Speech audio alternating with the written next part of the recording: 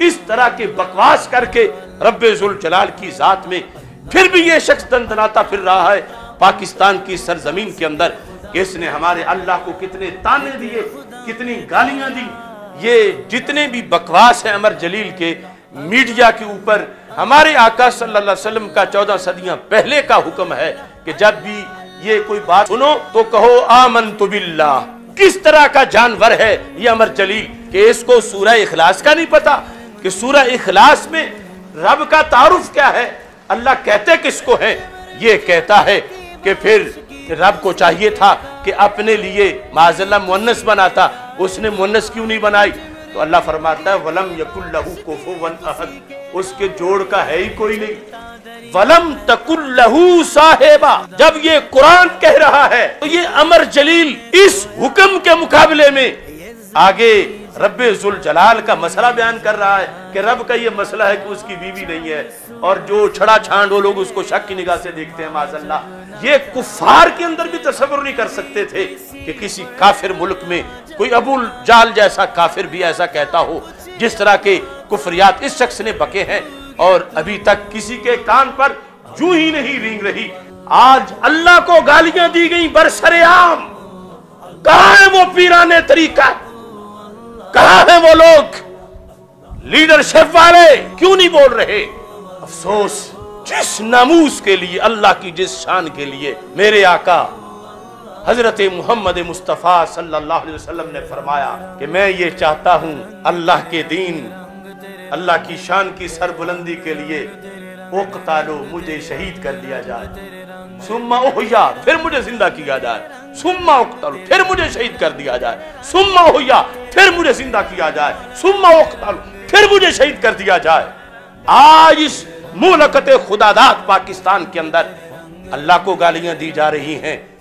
मुझे अफसोस है उस पूरे मजमे पर कि वो यूँ ठट्ठा मज़ाक में लगे हुए थे, जैसे कोई अपने जैसा माजल्ला गिरा हुआ कोई दोस्त होता है और उसके बारे में लतीफे बयान किए जा रहे होते हैं, ये है सबसे बड़ी दहशत गर्दी जो रब को गालियाँ दे, इससे बड़ा दहशत गर्द कौन होगा? बिस्मिल्लाहिर्रहमानिर्रहीम। रब्बि शरहली सदरी वयस्सिरली अमरी वहलुल उक़दतम मिन लिसानी यफ़क़हू क़ौली। रदीतु बिल्लाहि रब्बा व बिल इस्लामी दीना। व बि मुहम्मदिन सल्लल्लाहु अलैहि वसल्लम नबिय्यन व रसूला अल्लाहु अकबर अल्लाहु अकबर अल्लाहु अकबर लब्बैक लब्बैक लब्बैक या रसूल अल्लाह सल्लल्लाहु अलैहि वसल्लम अल्हम्दुलिल्लाहि वहदा वस्सलातु वस्सलामु अला मल्ला नबी बादा व अला आलिहि व अस्हाबिहि अल्लज़ीना औफ़ौ अहदा अम्मा बादु फ़ाऊज़ु बिल्लाहि मिनश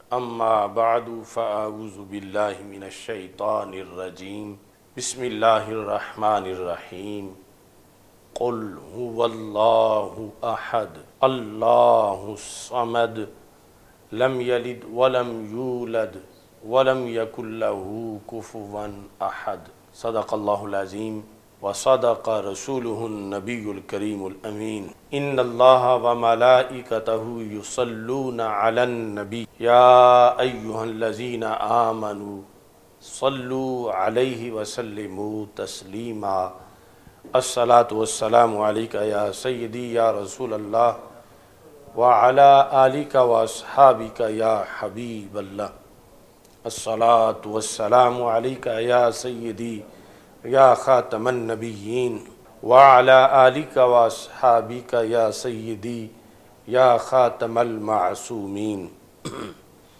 मौला यसल्लि वसल्लिम, दाइमन आबादा, अला हबीबिका खैरिल खल्क़ि कुल्लिहिम।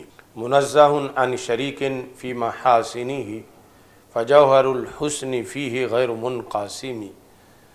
मुहम्मदुन ताज रसलिल्लाहि कातिबतन मुहम्मदुन सादिकुल अक़वाली वल कलिमी मुहम्मदुन ज़िक्रुहु रूहुल अनफुसिना मुहम्मदुन शुक्रुहु फ़र्दुन उममी रब्बी सल्लि वसल्लिम दाइमन अबदा अला हबीबिका खैरिल खल्क़ि कुल्लिहिमी अल्लाह तबारक व जल्ला जलालुहु व अम्मा नवालू व तम बुरहान व आज़म शान व जल ज़िक्र हो व अज़्ज़ा इसमू की हमद सना। और हजूर सरवर कायनत मफ़र मौजूदात, जीनत बज़म कायनत, दस्तगीर जहाँ गम गुसार ज़माँ सैद सरबराँ हामी बेकसां कायदुलमरसलिन ख़ातमनबीन अहमद मुशतबा जनाब महमद मुस्तफ़ा अलैहि वसहाबी वबारक वसल्लम के दरबार गहरबार में हदिया दरुदोसलाम अर्ज़ करने के बाद असलकम वरहमतुल्लाहि वबरकातुहू रब्ज़ुलजलाल के फ़ज़ल और तोफ़ी से तहरीक लब्बैक या रसूल अल्लाह सल्लल्लाहु अलैहि वसल्लम और तहरीक सिरात मुस्तकीम के ज़ेर तमाम हज़रत शाह जलाल रिसर्च सेंटर के अंदर आज सुबहान अल्लाह सेमिनार का इनका किया जा रहा है। मेरी दुआ है खाल के कायनत जल्ला जलालू हमारी इस कावश को अपने दरबार में कबूल फरमाए। और हमें तकदीस उलूहियत तनजीह बारी ताला के लिहाज से जो हम पर फ़र्ज़ आयद होता है, उसे बतरी के आहसन निभाने की तोफ़ी अता फ़रमाए।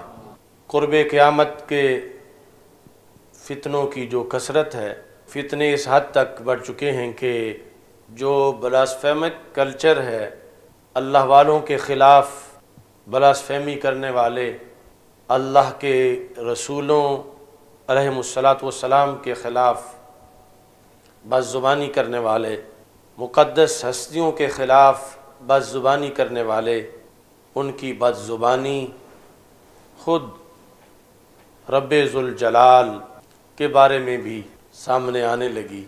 अफसोस है कि पाकिस्तान, जो कि कलमा इस्लाम की बुनियाद पे कायम हुआ है, इसके सूबा सिंध के अंदर एक मजमा आम में एक ना नाहंजार ने अल्लाह जल्ला जलालू वहदहू सुबहानहू की ज़ात के बारे में वो कुफरियात बके, वो गालियाँ दीं। कुरान मजीद बुरहान रशीद की आयात का बरमला मज़ाक उड़ाया। सैदुलमरसलिन हज़रत महमद मुस्तफ़ा सल्लल्लाहु अलैहि वसल्लम की तालीमात के ख़िलाफ़ मुबैना तौर पर उसने जहर उगला और लोग जो मजमा आम में बैठे थे, उसके तमाम बकवासों पर और तोहनों पर माजल्ला हंस रहे थे। ऐसे मौका पर जितने लोग वहाँ मौजूद थे, वो कायल तो मलून करार पाया ही है, जो उसके साथ हनस हनस कर उसे दाद दे रहे थे और हनस कर उसके साथ तदहीक के इस मलून अमल में शरीक हो रहे थे। उन सब का ईमान भी तबाह बर्बाद हुआ। अफसोस ये है, ऐसा काम तो हमें किसी दारुलकुफ़र में भी बर्दाश्त नहीं। ये दारुल इस्लाम पाकिस्तान के अंदर ऐसा हुआ और अभी तक इस सिलसिला में कोई मुआवजा नहीं किया गया। वो किस तनजीम ने प्रोग्राम ऑर्गेनाइज किया था? वो शराका और बिलखसूस वो नाम नहाद शख्स जिसका नाम अमर जलील बताया जाता है। उसने तो कुफरियात की हद कर दी। शायद अबू जाल ने भी इस अंदाज की गालियाँ अल्लाह को ना दी हों। जैसी गालियाँ उसने जलाल को दी हैं और इस इस्लामी सल्तनत के अंदर उस शैतान सिर्फ़ इंसान के ख़िलाफ़ अभी तक हकूमत की तरफ़ से कोई कार्रवाई नहीं की गई। उसकी जो गुफ्तगु वायरल हुई है सिंधी ज़ुबान के अंदर, उस गुफ्तगु के अंदर दस ऐसे अबवाब हैं उस मुख्तसर गुफ्तगु में कि जिस में से हर बाब के अंदर आगे इंतहा दर्जा की गुस्ताखियाँ हैं। यानी दस गुस्ताखियों के चैप्टर हैं और उसमें फिर गुस्ताखियों के मुख्तलफ़ आगे अकसाम हैं। उसके वो मलून कलमात और कलमात कुफर, नकल कुफर कुफर नबाशद के असूल के तहत चंद अल्फाज मजबूरन बोलने पड़ेंगे कि उसने कहाँ तक जसारत की है, वरना पूरे उसके जो कलमात हैं, वो ज़ुबान से दोहराए नहीं जा सकते कि जिस हद तक उसने ज़ात बारी ताला की तोहन की है और जो वहाँ मौजूद थे लोग, उनका और अपना ईमान बर्बाद किया है। उसकी इस गुफ्तगु के अंदर सबसे पहले उसने उलूम बारी ताला पर हमला किया है। अल्लाह आलिम बेज़ाती सदूर है रब जलाल के इल्म के लिहाज से। उसने मुतद एतराज़ किए हैं मिसाल के तौर पर वो कहता है माजल्ला कि मैंने अल्लाह ताला को उलझन में डाला, अस्तगफिरुल्लाह। इसकी क्या हैसियत है? और फिर एक जगह जाके कहता है, अल्लाह, तुझे पता ही नहीं, अस्तगफिरुल्लाह। रब जलाल के उलूम, उसकी अभी एक झलक मैं कुरान मजीद से पेश करूँगा कि जो हमारी इल्हामी किताब है, वो हमें अल्लाह के उलूम के लिहाज से क्या बताती है और ये शैतान सिफ्त इंसान क्या बकवास करता है। दूसरे नंबर पर इस गुफ्तगु में उसने अल्लाह के फ़ैसलों पर एतराज़ किया, जबकि कोई भी मोमिन मुसलमान अल्लाह ताला के फ़ैसलों के मुकाबले में दम भी नहीं मार सकता चे जाए के तनकीद करे। मसलन उसने ये कहा कि रब जलाल ने सिर्फ़ मर्दों को नबी क्यों बनाया है, औरतों को भी नबी बनाता? उसने कुछ औरतें दस पंद्रह क्यों नहीं नबी बनाई? तो इस तरह के वो रब जलाल पर, उसके फ़ैसलों पर एतराज़ की, उसने जसारत की, जो कि कुफर दर कुफर और तोहन दर तोहन है। तीसरे नंबर पर उसने माज अल्लाह सुम्मा माज अल्लाह अपने आप को रब जलाल से अफजल करार दिया।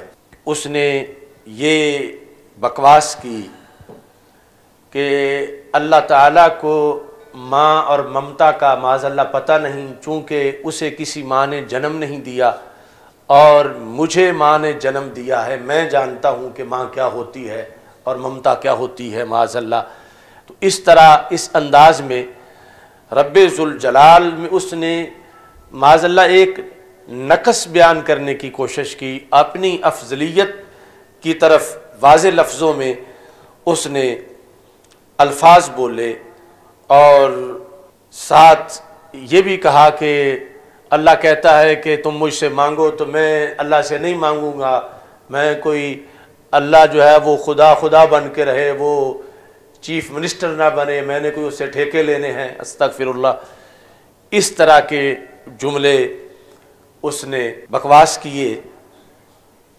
चौथे नंबर पर उसने रब जलाल को नंगी गालियाँ दी, जिसमें उसका ये लफ्ज़ है कि वो कहता है ए खुदा माजल्ला कहता, तू बदनसीब है। तो रब जलाल के लिहाज से उसने ये लफ्ज़ बोले, फिर कहता, तुझे पता ही नहीं और फिर जिस मकाम पर ये जाके बयान करता है कि अल्लाह जो है वो सिंगल है, यानी छड़ा छांड है, अल्लाह की बीवी नहीं तो वहाँ ये कहता है कि जो इस तरह कहो लोग तो उसको शक की नज़र से देखते हैं।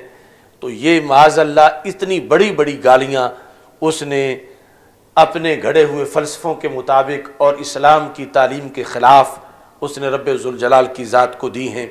ऐसे ही पाँचवें नंबर पर उसने रब जलाल की शान अकदस में तनकीस, यानी कमी के जो मुख्तलफ़ अंदाज हैं बयान करते हुए उनको अपनाया है, जिसमें अपनी तरफ़ वो ये चीज़ ज़ाहिर करता रहा है कि मैं कहीं अफजल हूँ और कहता है, मैं खुश नसीब हूँ कि मैं खुदा नहीं हूँ। और खुदा जो है वो माजल्ला बदनसीब है। और ये कि अगर वो इंसान बन के आए तो उसको तो रहने के लिए किराए का मकान भी कोई नहीं देगा। यानी इस तरह के जुमले उसने ऐसे ऐसे बेसरों पा बोले कि जिनमें तह दर तह तोहन है, तह दर तह गुस्ताखी है, कुफरियात हैं और वो गालियाँ ही गालियाँ हैं, जिस जहत से भी उनको देखा जाए। छठे नंबर पर उसने अल्लाह ताला के लिहाज से एतराज़ ये किया कि अल्लाह ताला ने अपने लिए मुन्नस क्यों नहीं बनाई? इस फैसले पर भी रब जलाल पर माजल्ला उसने तनकीद की। सातवें नंबर पर उसने अल्लाह ताला को मोहताज करार दिया। माजल्ला कहता है कि अल्लाह ताला के तो इतने मसाइल हैं कि गिनती से बाहर हैं। इतनी उसकी मुश्किलात हैं और इस तरह के अल्फाज उसने माजल्ला रबाल की ज़ात के बारे में बोले। आठवें नंबर पर ये जो जितनी गुफ्तगु सुनने को उसकी मुझे मिली है, उसमें वो मुकालमे का, अल्लाह ताला से मुकालमा का दावेदार है कि, ए अल्लाह, ए खुदा, मैं ये कहता हूँ, मैं तो उससे पूछता हूँ, फिर कहता वो मुझे जवाब देता है, मैं उस पर इतराज़ करता हूँ। तो ये जो अल्लाह ताला से मुकालमा का उसका अंदाज है या दावा है, ये भी बहुत बड़ी तोहन है। अल्लाह की ज़ात पर इफ्तरा है। इसने झूठ बांधा है अल्लाह ताला की ज़ात पर। यानी इसकी रब से इसकी हैसियत ही नहीं कि ये गुफ्तगु करे और मुकालमा हो। अल्लाह इसको जवाब दे या इसकी ये सलाहियत हो कि ये रब से कलाम कर सके, जिस कलाम का, जिस अंदाज में इसका दावा है। तो इस तरह इसने ज़ात बारी तारा पर बोहतान बांधा है। नवे नंबर पर इसने रब जलाल की सिफात पर एतराज़ किया है। यानी ज़ात पर एतराज़ अलहदा है और ज़ात की जो सिफात हैं रब जलाल की उस पर एतराज़ अलहदा है और इसने रब जलाल को हाजत, रवा, मुश्किल, कुशा मानने से इनकार किया है। माजल्ला कि रब जलाल के इख्तियार जो हैं, जो अमर कन, उसका है, उसका इसने इनकार किया है। और दसवें नंबर पर इसने जो रबाल की तरफ़ से दावत है कि मुझसे मांगो, मैं तुम्हारी दुआ को कबूल करूँगा। इस चीज़ पर भी इसने तनकीद की है कि अल्लाह ऐसे क्यों कहता है कि मुझसे मांगो। तो माजल्ला ये यानी तनकीद, तोहन के दस बड़े अबवाब हैं इसकी गुफ्तु के अंदर। और इसमें आगे अगर तफसीला हर जहद पर जो कुफरियात मुरतब होते हैं वो बयान किए जाएँ तो बहुत लंबा सिलसिला है। ये शख्स अपने तौर पर सूफ़ी होने का दावेदार भी है। माजल्ला तसवुफ़ कुफरियात को नहीं कहा जाता। और ये जो एजेंडा है वहदत अदियान का अमेरिका की तरफ़ से और बिलखसूस सिंध के अंदर बड़ी फंडिंग की गई है कुछ चैनलों को। सिंधी ज़ुबान के अंदर इस्लाम के ख़िलाफ़ वो इसी तरह के ये सारे करतूत हैं उनके और ये उसी का एक शाखसाना है जो अमेरिका बैठकर यहाँ पाकिस्तान के अंदर कुछ चैनलों के ज़रिए से दीन के ख़िलाफ़ बगावत करवा रहा है। ये तसवुफ़ नहीं है। उसने अपनी गुफ्तु में जो बात कही, वो मैं आज कुछ लोगों को वार्निंग के लिहाज से भी बताना चाहता हूँ, जो उस तरह का एक माहौल चाहते हैं। उसने बताया कि मेरी माँ जो है, यानी ये बताता कि मैं ऐसा क्यों हूँ? मेरी माँ जो है, वो मुझे मंदिर में भी ले जाती थी, गिरजे में भी ले जाती थी, मजलिस में भी ले जाती थी। वो हर तरह के लोगों में मुझे ले जाती थी। खा वो क्रिश्चन हो खा वो कोई हो, हिंदू हो, सिख हो और मेरा बाप भी माँ को रोकता नहीं था कि तू मेरे बेटे को ख़राब कर रही है। तो मैंने इस माहौल में कि मैं सूफ़ी, मेरी माँ माँ जो है वो सूफियाना तबीयत की थी, उसके बकौल ये बददीन होना और लिबरलिस अंदाज में वहदत अदियान का कायल होना इसको वो तसवुफ़ कहता है और फिर अपनी माँ और उसके लिहाज से अपना अंदाज बयान करता है। तो इस गुफ्तगु के लिहाज से जो मैंने आप हजरात के सामने रखी है। अब चंद ज़रूरी वजाहतें कि इसका शरी तौर पर इसने कितना बड़ा जुर्म किया है और फिर उस जुर्म की सज़ा क्या है। अल्लाह का करोड़ों बार शुक्र है कि हम जलाल की वादानियत पर यकीन रखते हैं और खल के कायनत जल्ला जलालू की ज़ात और सिफात के लिहाज से हमें कुरान सुन्नत के दिए हुए उसूलों के मुताबिक आज भी ईमान मैसर है। खाल के कायनात जल्ला जलालू जिस तरह की इस शख्स ने गुफ्तगु की, जब जाहिलियत के अंदर अबू जाल के टोले के लोग ऐसी बातें करते थे तो उस वक़्त अल्लाह ने यह आयत नाजिल की। वमा कदरुल्लाह हक का कदर ही कि इन लोगों ने अपने रब की कदर ही नहीं पहचानी, कि रब की शान क्या है, रब का मकाम क्या है, रब होता कौन है। वमा कदरुल्लाह हक का कदरी, जो उसकी कदर को जानने का हक था। ये लोग ये लोग इस तरह की बातें करने वाले, रब को जिसम मानने वाले, रब के लिहाज से मुन्नस की बातें करने वाले, रब के लिहाज से इस तरह के सारे तस्वुरात जिस्मानियत के और मादियत के बनाने वाले रमा कदर का कदर ही इन्होंने कदर पहचानी नहीं कि ये बात रब के मौजू पर कर रहे हैं और कितनी गिरी हुई बात कर रहे हैं।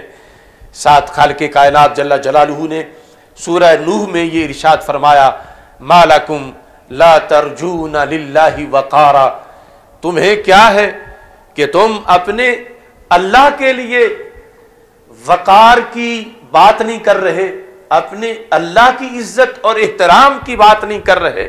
अल्लाह के लिहाज से तुम इतनी बेअदबियाँ कर रहे हो? ये लिल्लाही वकारा की एक तफसीर के लिहाज से ये उस वक़्त भी झंझोड़ा गया था कि ज़ात बारी ताला तुम्हारे वहम से, ख्याल से, गुमान से तस्वुर से कहीं बुलंदो बाला है। तुम कभी भी उसे अपने ऊपर या मखलूक़ात के ऊपर क्यास ना करो। और खाल के कायनात जल्ला जलालू ने ये हुक्म दिया व तो अज़रू हो व तो वक्रू हो व तो सब्बू हो बुकरतम व असीला। जैसे रसूल अक्रम वसल्लम की तज़ीम का हुक्म यहाँ मौजूद है तो पहले नंबर पर ख़ुद रब जलाल की तोक़ीर का हुक्म दिया गया।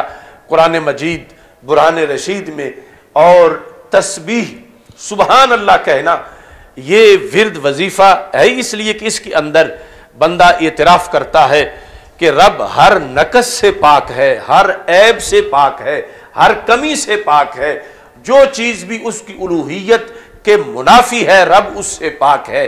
ये हमेशा एक तरीका दिया गया उम्मत मुसलिमा को और इंसान की तखलीक के वक़्त जब फरिश्ते कह रहे थे, नहनु नसब्बी हमदी का व नुक़दसलक रब, तेरी तस्बी के लिए तो हम काफ़ी हैं।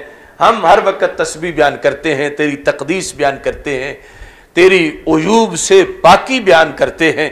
तो खाल के कायनात जल्ला जलालहू ने फरिश्तों को फरमा इन्नी आलम माला तलमून और फिर ऐसे ऐसे इंसान अम्बिया कराम अलैहिस्सलाम सिद्दीकीन, सालहीन, मुकर्रबीन तस्वीर बयान करने के लिए आए कि जिनका अंदाज फरिश्तों से कहीं ऊँचा था। अफसोस के इस जैसे नाहंजार भी इंसानी शक्ल में शैतान, जो आज जिसने सिंध के अंदर सिंधी ज़ुबान में ये सारे खराफात बखे, कि तकदीस का मजमून, इतना अहम मजमून है, सुबहान और रब्बी का रब्बिल्ज़त अम्मा यसिफून।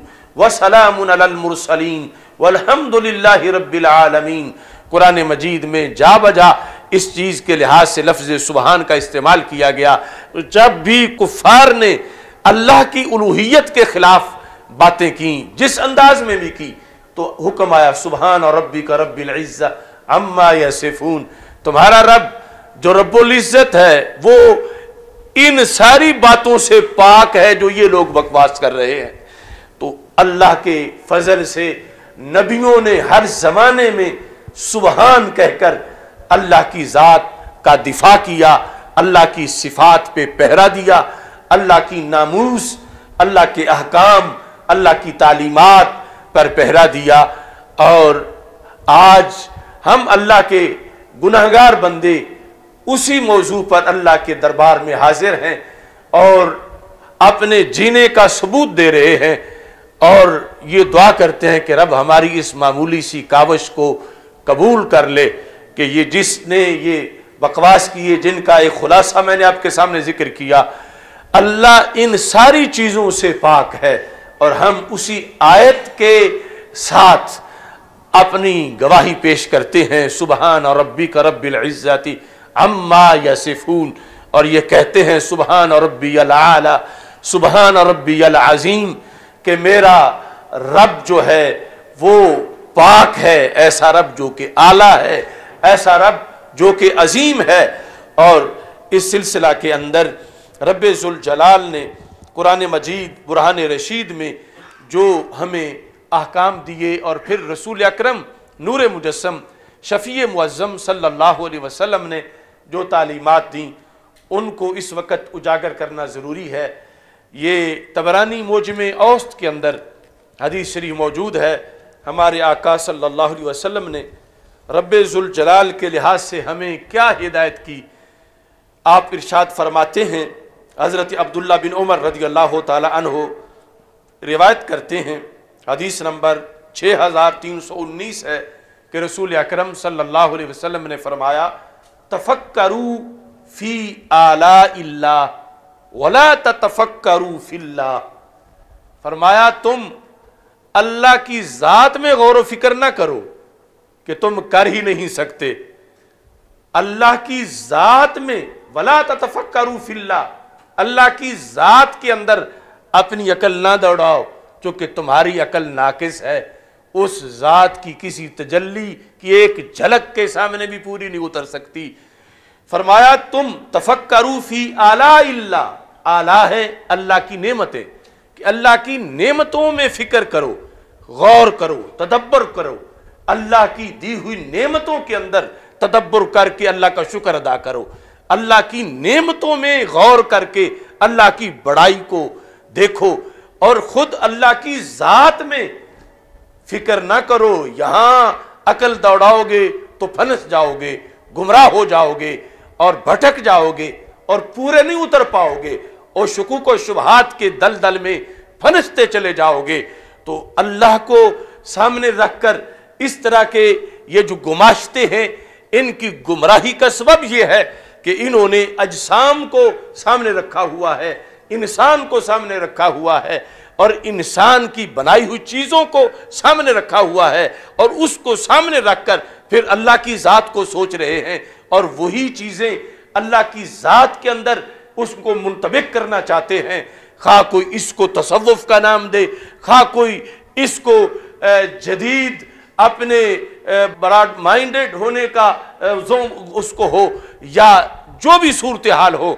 हमारे आका सल्लल्लाहु अलैहि वसल्लम ने ये सिरात मुस्तकीम हमें अता फरमाया है कि रब की आला में नेमतों में, चाँद में, सूरज में, सितारों में, आसमानों में, ज़मीनों में, चलती हवाओं में, बहते दरियाओं में, बहारों में, फूलों में, शबनम में, हर हर चीज़ में गौर करो, तदब्बर करो तफक्र करो, लेकिन फरमा वला तफक्रू फिल्ला अल्लाह की ज़ात के बारे में अपनी अकल को रोक के रखो। ये अकल की आजमाइश है कि तुम यहाँ, तुम्हारे पास ऐसे सोर्सेज नहीं कि तुम पूरे उतर सको तो फिर तुम रब जलाल के लिए वो चीज़ें बयान करना शुरू हो जाओगे जो उसके शायान शानी नहीं है। तो इस वास्ते तुम अपने आप को रोक के रखो। नबी अकरम, नूर मुजस्म शफ़ी मुज़म सल्लल्लाहु अलैहि ने इस फितने की तरफ़ जिसका फ़र्द ये शख्स भी है, अमर जलील, हमारे आका अलैहि वसल्लम ने सदियों पहले निशानदेही फरमाई थी कि तख्लीक के मसले पर कुछ लोग गुफ्तगु करेंगे और चलते चलते यहाँ तक पहुँच जाएँगे कि फिर अल्लाह को किसने बनाया? फिर अल्लाह कैसे बना? फिर अल्लाह की माजल्ला माँ कौन है या माँ नहीं है या क्या सूरत हाल है? वो कैसे अदम से वजूद में आया है? तो रसूल अकरम सल्लल्लाहु अलैहि वसल्लम ने फरमाया, जो शख्स ऐसी बातें करेगा, वो शैतान करार पाएगा। उस वक़्त नबी अकरम नूर मुजस्म शफ़ी मुज़म सल्लल्लाहु अलैहि वसल्लम ने उसके लिए शैतान का लफज इस्तेमाल किया। किताबुल ईमान मुस्लिम शरीफ के अंदर है। हदीस नंबर 214 है। हज़रत अबू हुरैरा रदी अल्लाह तु कहते हैं कि रसूल अकरम सल्लल्लाहु अलैहि इरशाद फरमाते हैं, याति शैतान अहादकुम तुम में से किसी के पास शैतान आएगा। शैतान आएगा। फ़यकूल, वो कहेगा, सवाल करेगा, मन खला का कज़ा मन खला का कज़ा यानी तुमसे पूछेगा, आसमान किसने पैदा किया? ज़मीन किसने पैदा की? हैवान किसने पैदा किए? फरमाइए पूछते पूछते हत्ता यकूल लहू यहाँ तक कि वो आने वाला ये भी पूछेगा, मन खाला का रब्बा का माजिला तेरे रब को किसने पैदा किया? यानी वो बाकी हर चीज़ पर रबूबियत को भी क्यास करेगा। बाकी, यानी मखलूकत पर खुद खालिक को भी क्यास करेगा।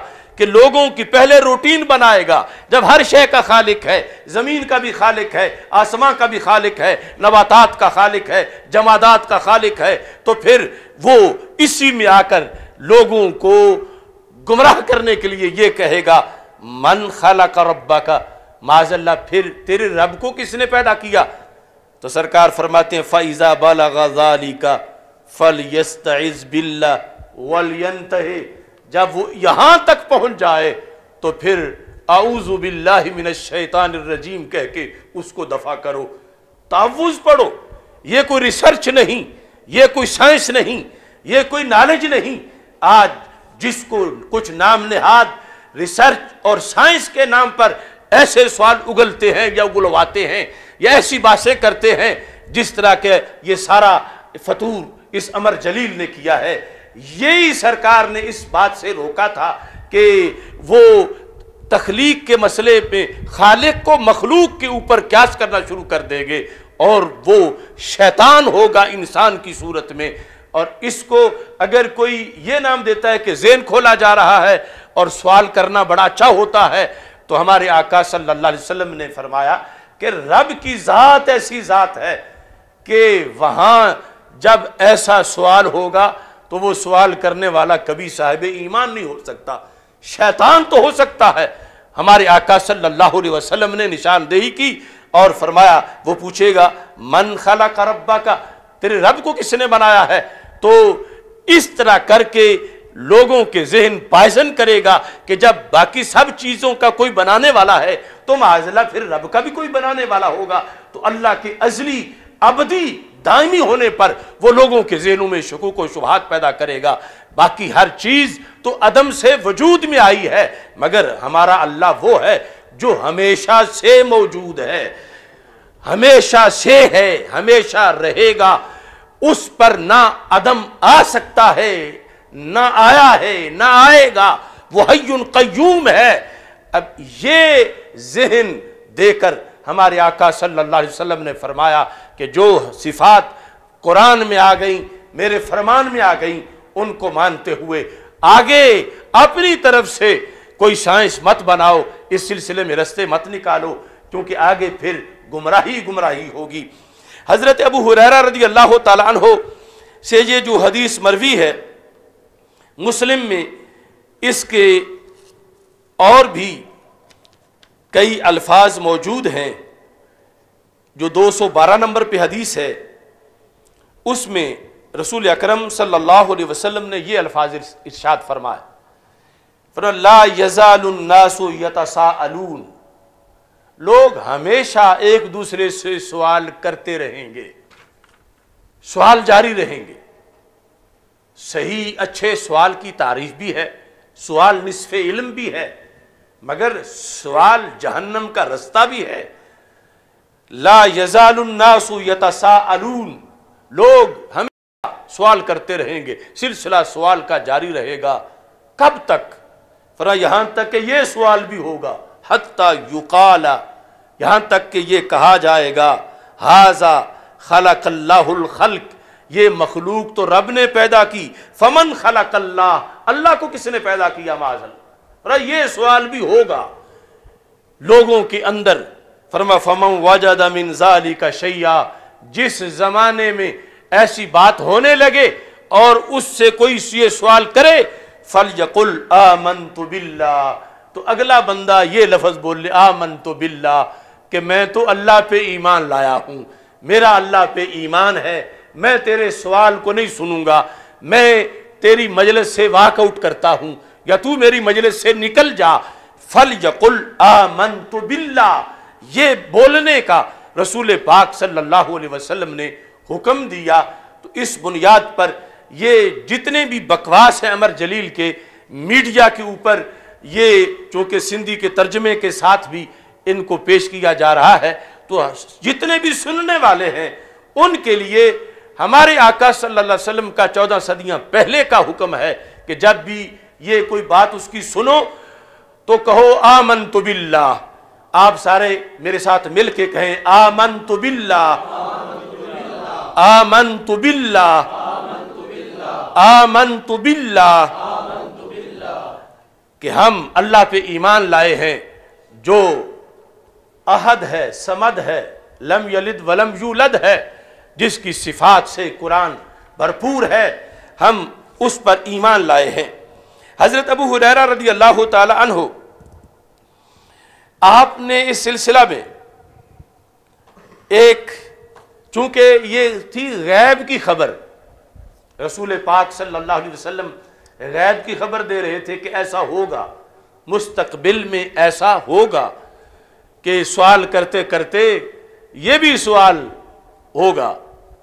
और हज़रत अबू हुरैरा रदी अल्लाह तहो जब महफिल में बैठे थे तो सरकार फरमाते, याति शैतान अहादा कुम तुम में से एक के पास ऐसा शैतान आएगा।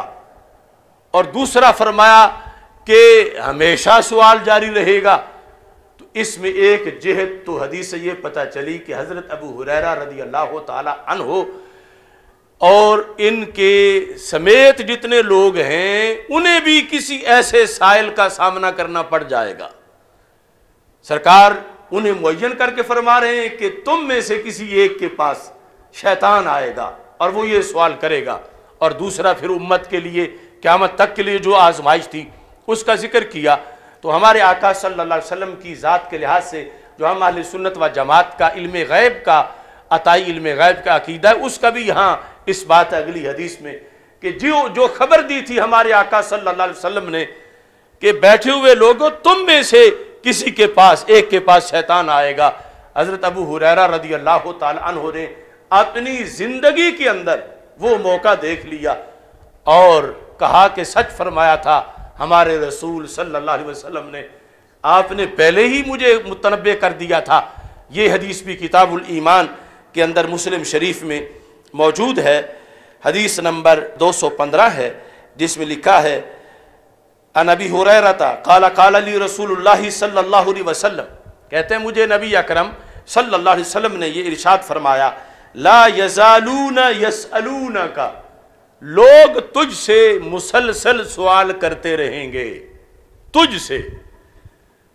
या अबा हुरैरा, ला यजालून यसअलून का लोग हमेशा तुझसे पूछा करेंगे, हत्ता यकूलू, यहाँ तक के वो कहेंगे, हाजल्लाह फमन खलक अल्लाह कि ये अल्लाह की शानें तो हमने पढ़ी हैं, और कि ये सारी कायनात का खालिक है। बताओ फिर अल्लाह का खालिक कौन है माज अल्लाह अल्लाह को किसने पैदा किया?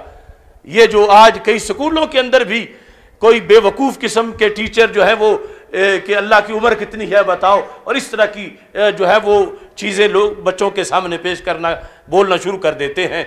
हज़रत अबू हुरैरा रदी अल्लाह तु कहते हैं, ये हदीस मैंने सरकार से सुनी हुई थी फ़बईना आना फिल मस्जिद। इस दौरान के मैं मस्जिद में बैठा था, इस जा अनी नासु मिनल आराब। कुछ बद्दू मेरे पास आ गए। फ़कालू या अबा हुरैरा, हाजल्ला फमन खलक अल्लाह हज़रत अबू हुरैरा रदी अल्लाह तु ने लंबी ज़िंदगी पाई है हदीस आगे रवायत की है ये भी ज़िंदगी में कहते हैं कि कुछ बद्दू आ गए जब मेरा फतवा चलता था और दुनिया दूर दूर से आके अबू हुरैरा को ढूंढ के मसला पूछती थी, उन्होंने मुझसे ये कहा कि वही लफज हूबू जो सरकार ने बोले थे हाज अल्लाह फमन खलक अल्लाह कि ये अल्लाह है तो अल्लाह को माजल्ला किसने पैदा किया है? आप फरमाते हैं, जब उन्होंने पूछा फ़ाखा हसन बेकफ़ ही फरमा हम अबू हुरैरा जो मसला पूछने वालों को कहते थे मरहबम बेतालब इल्म कि मैं तुझे खुश आमदेद कहता हूँ कि दीन का मसला पूछने आए हो लेकिन यहाँ क्या किया आपने मुट्ठी में संग्रेजे पकड़े आखाजा हसम बेकफी फरमा हम उन पूछने वालों को वो कंकरियाँ मारी सुम्मा काला कूमू उठ के चले जाओ। कूमू चले जाओ। सादा का खलीली, सच फरमाया था मेरे महबूब सलाम ने। तो नबी अकरम नूर मुजस्म शफ़ी मुज़म सल्लल्लाहु अलैहि वसल्लम के उलूम, यानी आपने खबर दी ऐसा होगा, और वो हुआ उसकी फिर गवाही देकर हवाला भी दिया हज़रत अबू हुरैरा रज़ी अल्लाह तु ने कि मैं रावी हूँ इस हदीस का, कि ऐसा मुस्तकबिल में होगा। तो देखो मेरे सामने ही हो गया है। अगरचे बाद के क्यामत के वाकयात फितने, उनका ज़िक्र भी हदीस में है, लेकिन जो मजलिस में बैठे हुए थे, उनमें से अबू हुरैरा रज़ी अल्लाह तहो के पास आकर यही सवाल किया गया तो आपने उनको कंकरियाँ मारी। तो कुछ वो तोलाबा है सवाल करने वाले की हुक्म है कि उनको मरहबा कहो। और कुछ ये शैतानी सवाल हैं कि जिनके लिहाज से हज़रत अबू हुरैरा रदी अल्लाह तु जैसा नरम मजाज बंदा भी गुस्से में आ गया और हदीस को सामने रखते हुए उनका कुमू दफ़ा हो जाओ, निकल जाओ, उन्हें कंकरियाँ मारी और फरमाया कि मुझे पहले ही खलीली मेरे महबूब हज़रत मोहम्मद मुस्तफ़ा सल्लल्लाहु अलैहि वसल्लम ने इस सिलसिला में मुतवज फरमा दिया था। तो आज उस जहालत को कुछ लोग कहते हैं कि वो उसकी अदब में बड़ी खिदमात हैं। अगर ये अदब है तो फिर बेअदबी क्या होगी? ये इल्म है तो फिर जहालत क्या होगी? ये तसवुफ है तो फिर शैतानियत क्या होगी? और इतनी खुली छुट्टी के अलाल ऐलान बहुत बड़े मजमे को साथ साथ गुमराह किया जा रहा है। अब उसके जो हफवात, खराफात हैं उसने किस कदर कुरान की मुखालफत की? तो आगे सज़ा के अंदर जाकर इस बात का मसला है कि उसकी सज़ा क्या है? कि उसने कितनी आयात को रद्द किया और कितनी आयात की बरमला उसने तोहन की, इस्तेजा किया, मज़ाक उड़ाया। इस सिलसिला में कुरान मजीद, बुरहान रशीद का उलूम इलाही के लिहाज से जो अंदाज है यह कहता है कि चूँकि उसको माजल्ला माँ ने जन्म नहीं दिया तो उसे क्या पता कि माँ क्या होती है और ममता क्या होती है। अल्लाह फरमाता है सूरह नाम के अंदर, व इन दहू मफातिहुल गैब अल्लाह के पास गैब की चाबियाँ हैं। ला यालमुहा इल्लाहू ज़ाती तौर पर उसके सिवा कोई नहीं जानता। व वयालम माफिल बर वल बहर वो जानता है खुशकी में क्या है, समुद्रों में क्या है। वमा तस्कुतुम वरक़तिन इल्ला यालमुहा। कायनात के किसी कोने में जो पत्ता भी दरख्त से जुदा होकर गिरता है, रब को पता है कि फलां जजीरे में, फलां दरख्त की, फलां शाख से, फलां पत्ता नीचे गिरा है। उसका इतना इल्म है, वला हब्बा फ़ी जुलमातिल अर्द, वला रतबी वला याबिस इल्ला फ़ी किताबी मुबीन। ज़मीन के अंधेरों के अंदर कहीं जो दाना गिरा पड़ा है, रब उसे जानता है। और रतबो याबिस में, खुशको तर में जो कुछ है रब जलाल के इल्म में है खाल के कायनात जल्ला जलालहू, सब कुछ जानने वाला है। और फरमाया रब जलाल ने सूरह सजदा के अंदर इन अल्लाह व युनज़िलगैस व यालम अरहाम। रब जानता है कि रहमों में क्या है। रब जानता है, रहमों में क्या है। आज माफिल अरहाम के इल्म की नफी के साथ ये मजम आम में ठट्ठा और मज़ाक कर रहा है कि माँ क्या होती है, ममता क्या होती है। क्योंकि माँ ने जन्म नहीं दिया तो जन्म जो माँ से लेता है, उसको वो पता नहीं, जो पता खालिक को है। और जिस अंदाज में वो जानता है और जो उसका हुक्म और इख्तियार चलता है खाल के कायनात जल्ला जलालहू, इरशाद फरमाता है, वमा तदरी नफसुम माजा तकसीब गदा, वमा तदरी नफसुम बी अर्दिन तमूद। और कोई नहीं जानता कि कल वो क्या करेगा और किस ज़मीन पे वो मरेगा। इन अल्लाह अलीम खबीर रब जलाल, इल्म वाला है और ख़बर रखने वाला है। खाल के कायनात जल्ला जलालहू ने ये जो तख्लीक के मसाइल हैं। इनके लिहाज से इतनी वाज गुफ्तु की है। रबुल फरमाता है, सूरह सुमर के अंदर खाला का कुम मिन नफसियों वाहिदा, रब ने तुझे एक जान से पैदा किया। तुम जाला मिनहा जहा उसी से उसकी जौज को बनाया। समानियत असवाज यखलुकुम फ़ी बुतून रब तुम्हें तुम्हारी माओ के पेट में पैदा करता है कैसे खलकम मिम्बाद खलकिन एक तखलीक के बाद दूसरी तखलीक यानी बच्चा उसको तो शूर पैदा होने के बाद कई साल जाकर आता है लेकिन जिन जिन मराहल से गुजार के रब ने उसे एक पानी के कतरे से बोटी बनाकर और उससे आगे उसकी आज़ा बनाकर और फिर रूह फूंक कर उसको बनाया है। ये तो रबेजुल जलाल जानता है।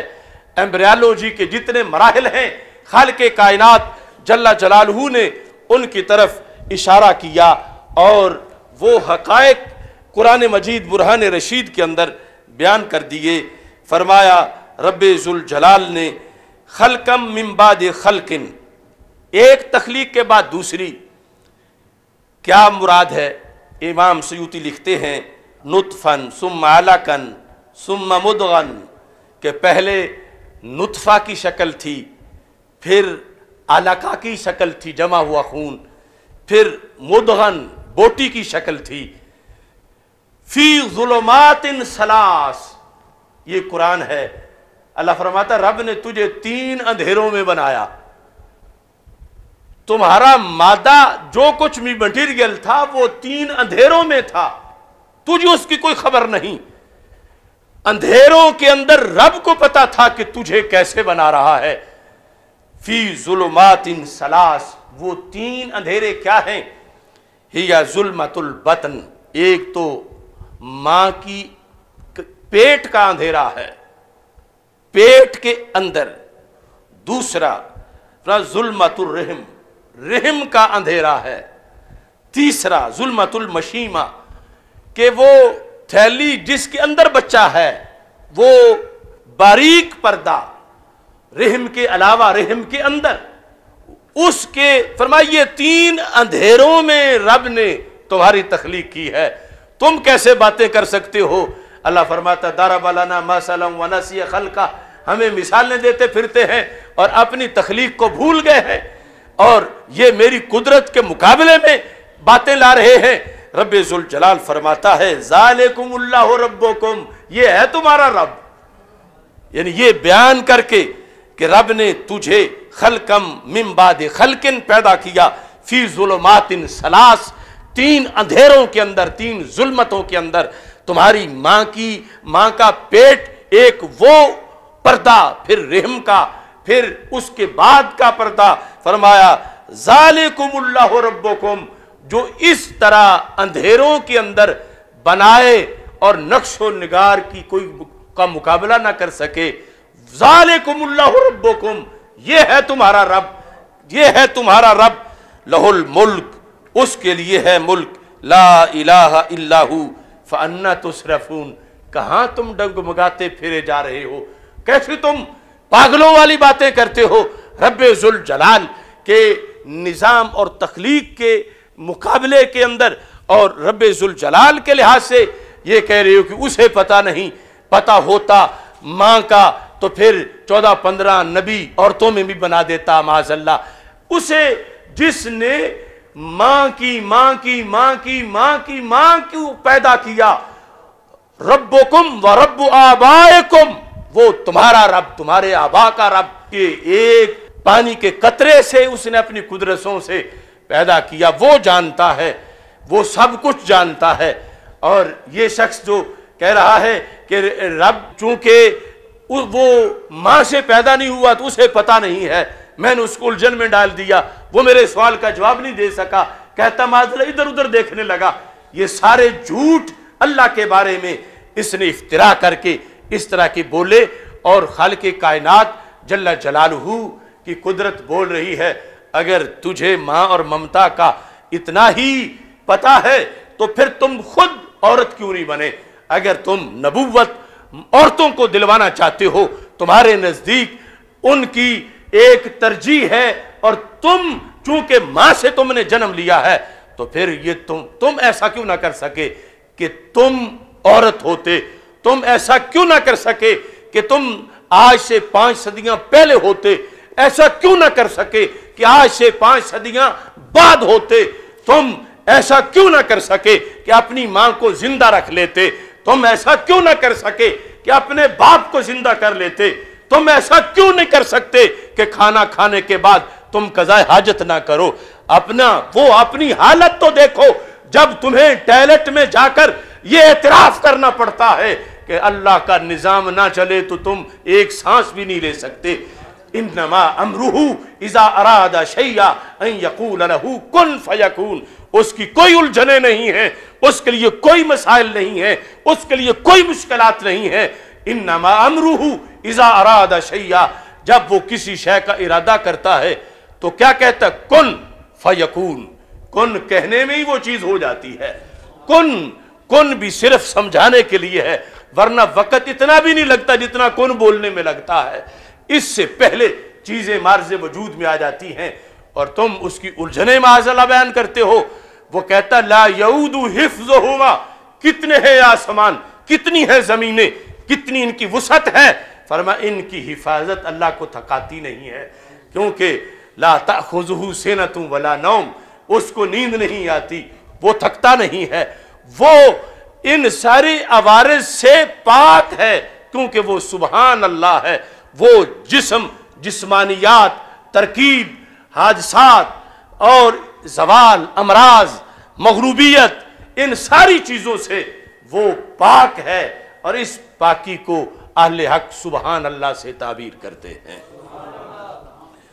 खाल के कायनात जल्ला जलालहू ने कुरान मजीद, बुरहान रशीद के अंदर ये हकीकत वाजे की, जो सरकार ने फरमाया है, वला तफक्रू फिल्ला अल्लाह में गौर फ़िक्र ना करो, क्योंकि तुम्हारे पास सोर्सेज ही नहीं। उसको तुम देख सको दुनिया में, देखना तुम्हारे बस में नहीं, और तुम क्या कर सकते हो? फरमा ला तुद्रिकुल अबसार वह हुआ युद्रिकुल अबसार आँखें उसका अहाता नहीं कर सकती, लेकिन सारी आँखें उसके अहाता में हैं। अब ये, वो उसका नज़र ना आना, ये उसका कमाल है। बाकी हम में से कौन है जो बैठा और कहे कि मैं नज़र नहीं आऊँगा, मुझे देखने वाले देख के दिखाएँ? ये हमारी कमी है, उसका कमाल है। और आज अगर कोई ऐसा बेवकूफ़ बोलना शुरू हो जाए, इस अमर जलील जैसा कहे कि मैं माजल्ला अल्लाह से अफजल हूँ कि वो तो नज़र नहीं आता, मैं नज़र आता हूँ। लेकिन नज़र आना एक कमाल है। तो उलूहियत है ही ऐसी। उलूहियत, अल्लाह होना, खुदा होना, मकाम ही ऐसा है कि जो मखलूक में चीज़ें शाने बनती हैं, वहाँ उसके शायान शान नहीं होती। कितनी ऐसी चीज़ें हैं, मखलूक में किसी का वलद हो, औलाद हो, बीवी हो, ये उसके शायान शान है। मखलूक में जो बैठे तो जगह घेरे, ये उसके शायान शान है। मखलूक में जब हमें देखें तो वो नज़र आ जाए। मगर अल्लाह वो कामिल जात है कि सारी आँखें चुंधिया जाएँ। इस दुनिया में रहते हुए देख नहीं सकती सिवाय एक आँख के जो मेराज की रात हमारे आका हज़रत मोहम्मद मुस्तफ़ा सल्लल्लाहु अलैहि वसल्लम ने ज़ात को देखा। इस बुनियाद पर, यानी ये बताया गया कि खुदाई मकाम ही इतना ऊँचा है। तुम कहीं ईंट गारे पे, दीवार पे, मसनूआत पे उसको क्यास कर रहे हो। अल्लाह ताला ने उस वक़्त फरमाया, जब कुरैश मक्का ने सरकार दो आलम सल्लल्लाहु अलैहि वसल्लम से पूछा कि ये जो रब है, ये किस चीज़ का बना हुआ है माजल्ला अमिन जहाबिन अमिन अलफिदा सोने का है या चांदी का है? तो उस वक़्त यह आयत नाजिल हुई, कुल अहद, अल्लाहु समद, लम यलिद वलम यूलद, वलम यकुल्लहु कुफुवन अहद, कि यहाँ लकड़ी सोने वाली बात का तसव्वुर भी ना करो।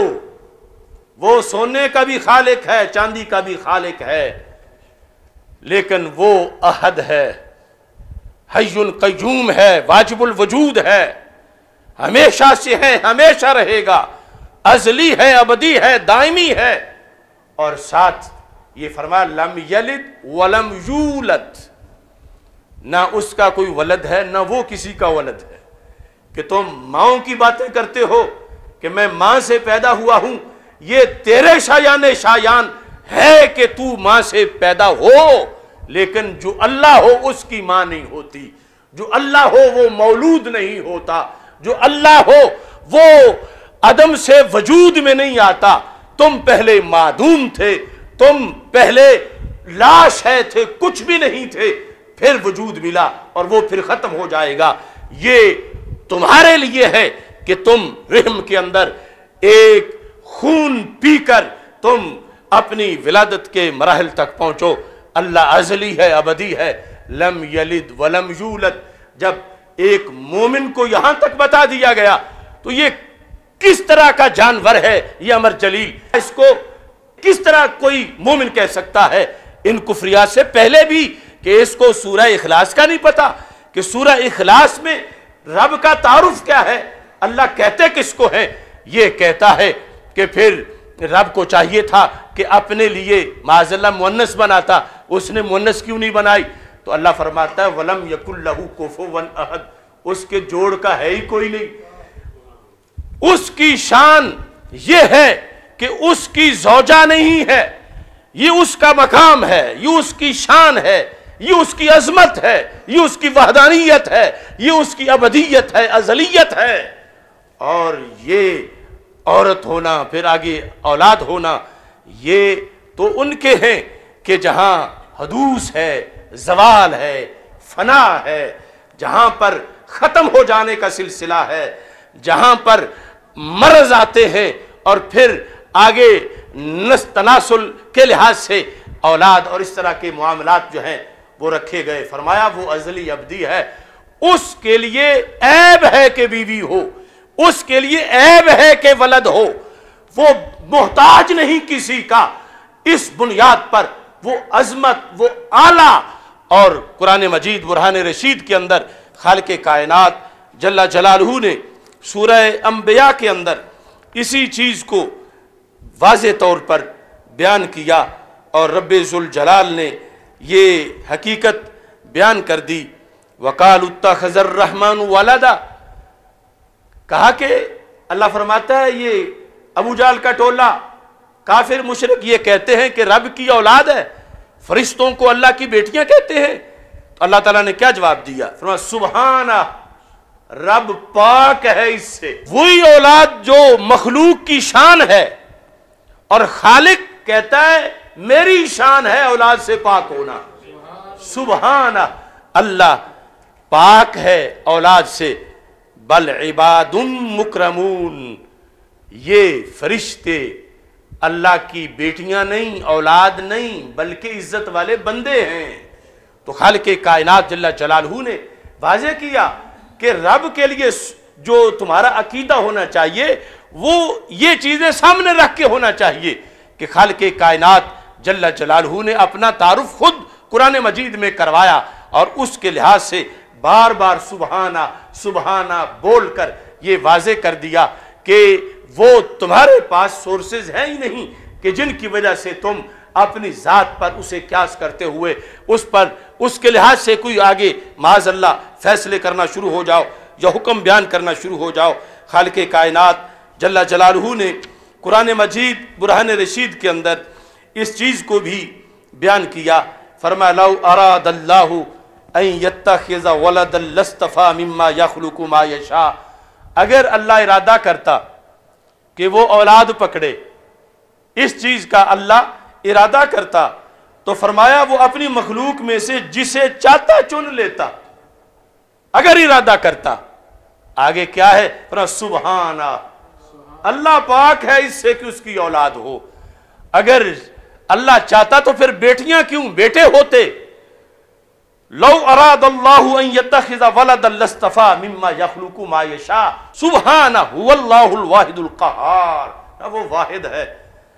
औलाद होने से भी वाहिद में, वहदानियत में फ़र्क आता है कि और जो वलद है, वो वालिद की जिन्स का होता है। तो फिर आगे कई तनकीसें लाजिम आती हैं। तो इस बुनियाद पर खाल के कायनात जल्ला जलालहू ने इस अंदाज में भी इस चीज़ को रद्द किया कुरान मजीद, बुरहान रशीद के अंदर, के फरमाया रब जलाल ने, इस मामला के अंदर तुम कैसे उसके लिए ये कॉल करते हो कि उसकी औलाद है? बदी उस समावाती व लर्द पैदा किया है उसने ज़मीन व आसमानों को। यानी इतना, इतनी महारत है उसको, पहले कोई नमूना नहीं था। यह है बदी होने का मतलब। बदी उस समावाती वलद अन्ना यकून लहू वलद। उधर तो ज़मीन व आसमान का खालिक है। और इधर उसका वलद कैसे हो? उसकी औलाद कैसे हो? वलम तकुल्लहू साहेबा। उसकी तो बीवी ही नहीं है। वलम तकुल्लहू साहेबा। जब ये कुरान कह रहा है तो ये अमर जलील इस हुक्म के मुकाबले में आगे रब जलाल का मसला बयान कर रहा है कि रब का ये मसला है कि उसकी बीवी नहीं है और जो छड़ा छांड वो लोग उसको शक की निगाह से देखते हैं माजल्ला तो अल्लाह ने अपनी ये शान बयान की और ये शख्स कुरान का रद्द कर रहा है, कुरान की आयत आयत का रद्द कर रहा है। रब रब जलाल ने नफी की, वलद की, नफी की, बीवी की फरमा वलम तकुल्लहू साहेबा। अल्लाह की साहेबा नहीं है। अल्लाह की बीवी नहीं है। जब बीवी नहीं तो वलद कैसे होगा? और फरमा व खाला का कुल्ला शय लेकिन पैदा उसने हर शय की है। लोगों के लिए करोड़ों की करोड़ों बीवियाँ, वो हर चीज़ पैदा उसने की है। लेकिन अपने लिहाज से उसकी शान वरा है और इंसानी अकल वहाँ तक नहीं पहुँच सकती। तो जो चीज़ें अल्लाह ने अजली कलाम में उस वक़्त कुरैश मक्का और कुफार के रद में फाइनल कुरान में बयान कर दी। आज किसकी मजाल है कि वो आगे दम मारे? किसकी हैसियत है कि वो फिर इस पर मज़ाक उड़ाए मजमे में लोगों के अंदर बैठकर? और फिर रब जलाल के बारे में माजल्ला बद नसीब के लफज और इस तरह के लफज बोले, हम तो ये कुफार के अंदर भी तस्वर नहीं कर सकते थे। कि किसी काफिर मुल्क में कोई अबुल जाल जैसा काफिर भी ऐसा कहता हो, जिस तरह के कुफरियात इस शख्स ने बके हैं, और अभी तक किसी के कान पर जू ही नहीं रिंग रही। और फिर अफसोस है, मुझे वो हुकूमत पर तो अपनी जगह, मगर आज इस बात पर अफसोस है। वो सैदा तय्यबा फातमत जहरा रदी अल्लाह तहा उनके लिहाज से हमने जो बयान किया पीर मेर अली शाह साहब रहमत की तस्वीर से वो तो मसलाए खत्म नबूवत था। तोहीन हरगिज नहीं थी और न भी कोई क्यामत तक साबित कर सकता है। तो वहाँ किसकी अंगेख्त पर कुछ पीर उठे, कुछ गद्दों वाले और कुछ गदियों वाले और असम्बलियों में करारदादे मंजूर हुई कि हम बेटे हैं सईदा फातिमा रदी अल्लाह तहा के। हालाँकि यकीनन वो इनके अमल से नाराज़ थी कि ये उन पर बोहतान बाँध रहे थे। मगर मैं पूछता हूँ, अल्लाह का बंदा ही कोई नहीं इस दुनिया में। आज अल्लाह को गालियाँ दी गई बरसरे आम कहा है वो पीराने तरीका? कहा है वो लोग? लीडरशिप वाले? क्यों नहीं? आज जो शरी तरीका है उसकी तरफ़ कोई क्यों नहीं आ रहा? क्यों नहीं बोल रहे? अफसोस कि जिस वहदानियत के लिए, जिस नामूस के लिए, अल्लाह की जिस शान के लिए मेरे आका हज़रत मोहम्मद मुस्तफ़ा सल्लल्लाहु अलैहि वसल्लम ने फरमाया कि मैं ये चाहता हूँ, अल्लाह के दीन, अल्लाह की शान की सरबुलंदी के लिए ओकतालो मुझे शहीद कर दिया जाए। सुम्मा ओहिया फिर मुझे ज़िंदा किया जाए।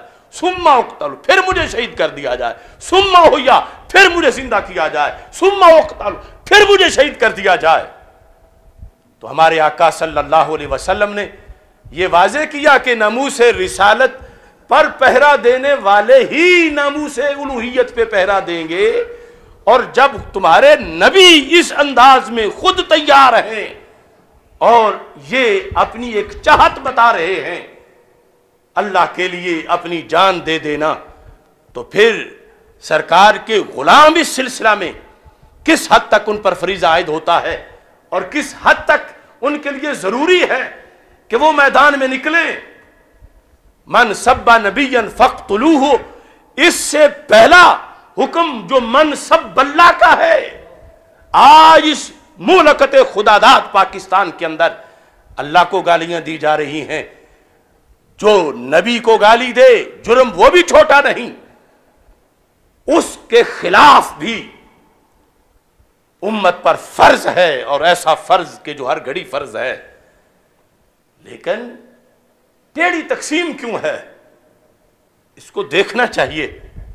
अल्लाह की उलूहियत पर हमला है। ये हमला अगर कोई फ्रांस में करे तो फिर भी हमला है। सिंध में करे तो फिर भी हमला है। ये काफिर करे तो फिर भी हमला है। कोई नाम निहाद मुसलमान करे तो फिर भी हमला है। इस बुनियाद पर चूँकि जो भी गुलाम नबी है, वो ही अल्लाह का महबूब बंदा है। और हर आश के रसूल सल्लल्लाहु अलैहि वसल्लम पर लाजिम है कि अपने आका सल्लल्लाहु अलैहि वसल्लम जिस नामूस के लिए इतना जज्बा रखते हैं और इसके लिए इतना मुतवजह कर रहे हैं। तो आशिकान रसूल सल्लल्लाहु अलैहि वसल्लम, ये भी, यानी इस चीज़ को पेश नज़र रखें। और फिर यहाँ इस गुफ्तगु में ये चीज़ भी मैं बयान करना ज़रूरी समझता हूँ। जब ये कह रहा है कि दस पंद्रह नबी क्यों नहीं रब ने बनाए?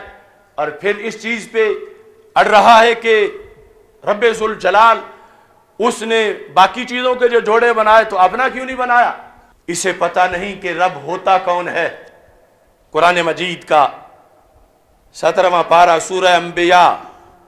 अल्लाह फरमाता, ला युस आलू अम्मा यफ़ालू वहुम युस आलून फरमाया, कायनात में एक जात ऐसी है जिससे कोई पूछ नहीं सकता कि तूने ऐसा क्यों किया। ला युस आलू उससे सवाल नहीं किया जाता कि तूने ये क्यों किया, तूने ये क्यों किया, तूने ये क्यों किया।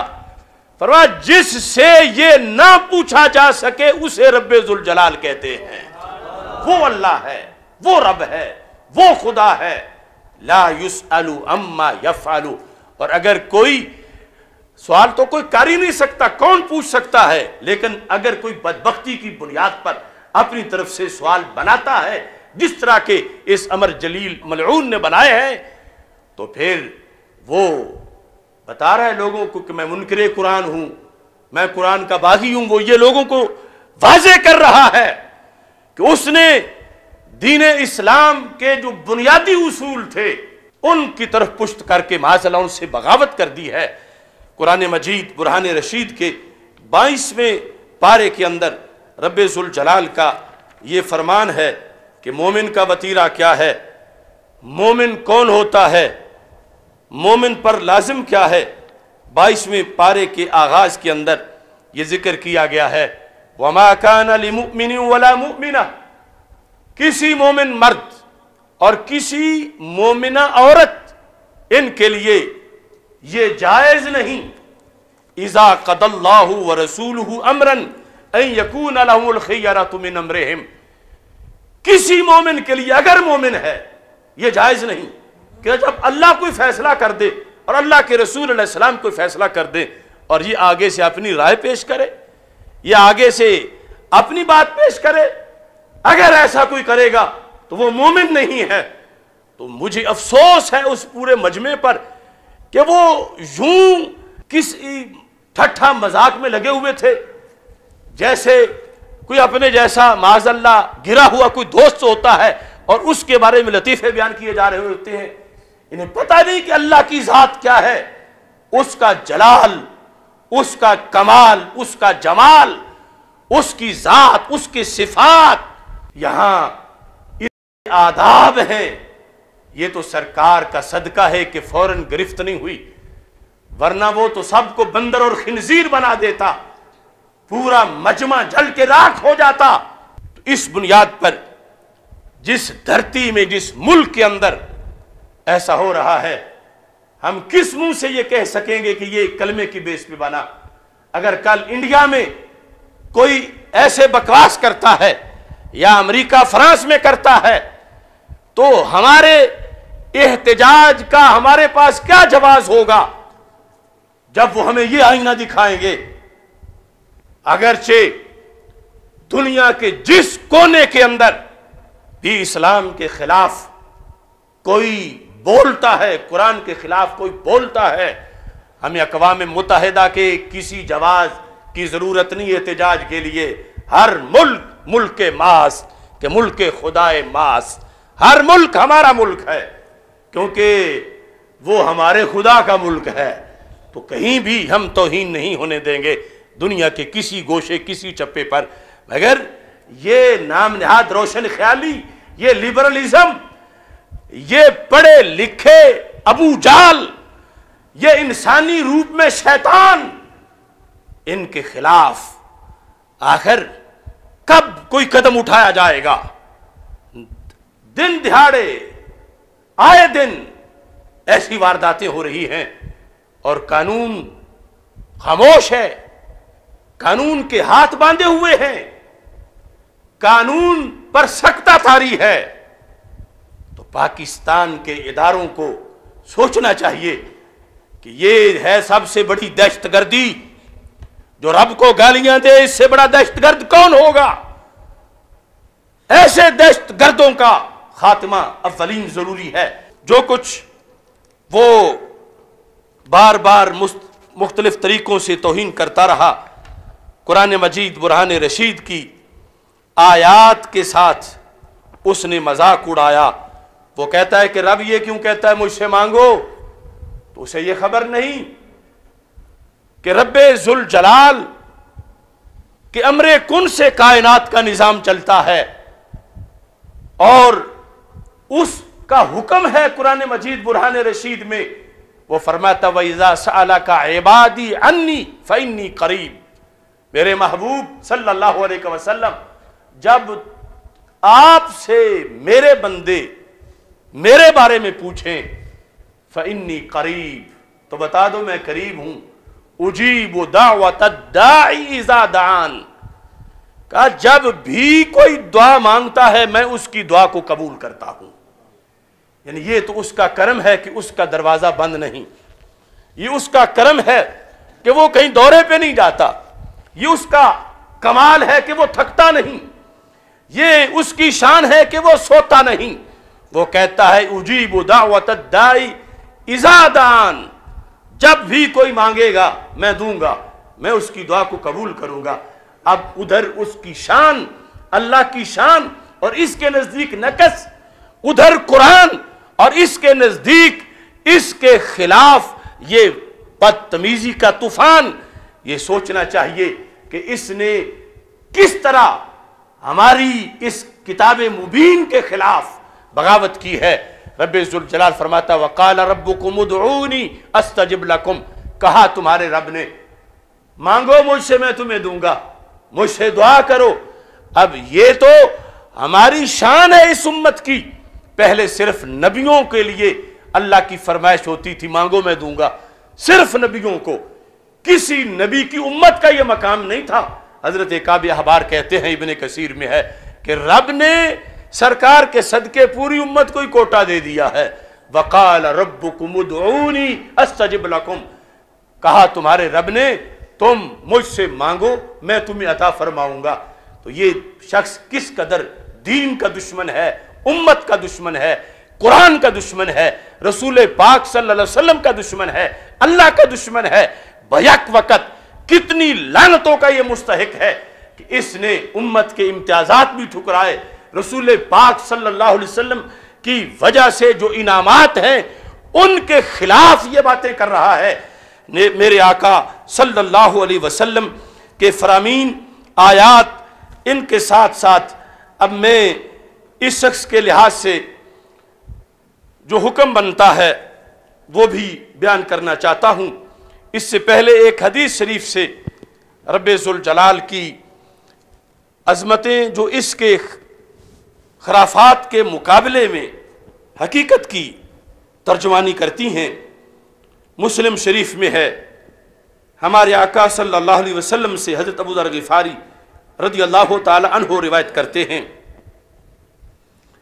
अल्लाह फरमाता है, कुल्लुकुम जाए इल्ला मन अताम तो हूँ फरमा, तुम सारे भूखे हो अगर मैं ना खिलाऊं। कुल्लुकुम जाए उन कोई सोने के महल में बैठा हो, कोई अरब खरब खरबपति हो, कोई कितना लैंड लार्ड हो, अल्लाह फरमाता, तुम भूखे हो। कुल्लुकुम जाए इल्ला मन अतम तो मगर वो खाता है जिसे मैं खिलाता हूँ। अगर मैं ना खिलाऊं तो किसी के कंट्रोल में रिस्क नहीं। वो नहीं खा सकता। और फरमाया कुल्लो कुमारन इल्ला मन कसो तो हूँ तुम सारे नंगे हो। कपड़े उसी ने पहने जिसे मैंने पहनाए हैं। अगर मैं ना पहनाऊं तो कोई कपड़ा नहीं पहन सकता। ये उसका इख्तियार है। और अमर जलील जैसे बागियों को तो अभी ये जो सरकार दो आलम सल्लल्लाहु अलैहि वसल्लम की उम्मत के लिहाज से सरकार का सदका है, ऐसे लोग बंदर बनने से बचे हुए हैं, खिंजीर बन जाते।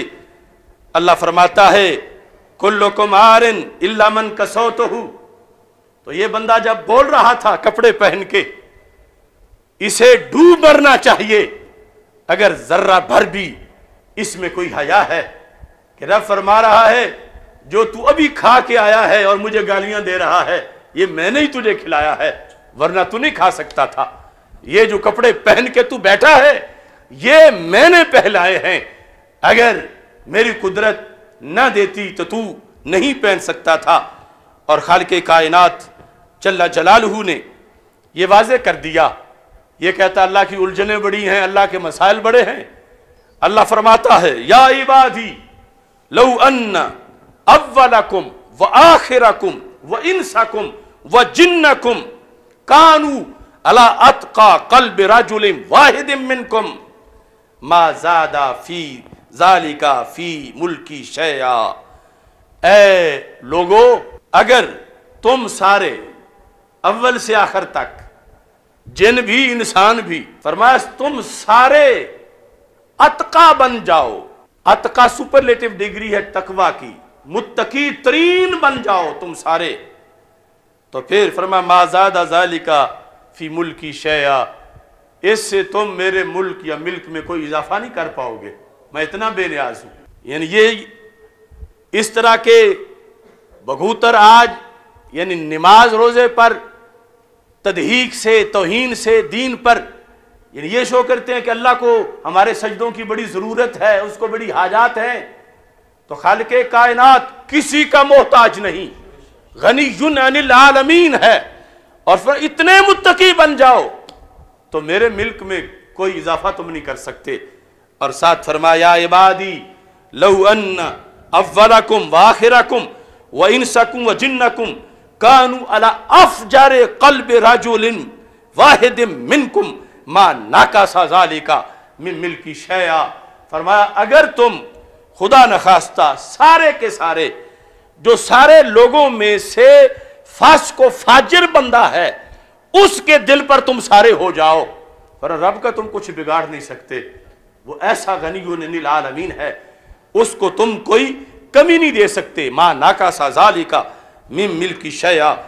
और फिर फरमाया इबादी लौ अन्न अव्वलकुम व आखिरकुम व इंसकुम व जिन्नकुम कामू फ़ी सईद वाहिद। अगर पहले इंसान से लेकर आखिरी इंसान तक और पहले जिन से लेकर आखिरी जिन तक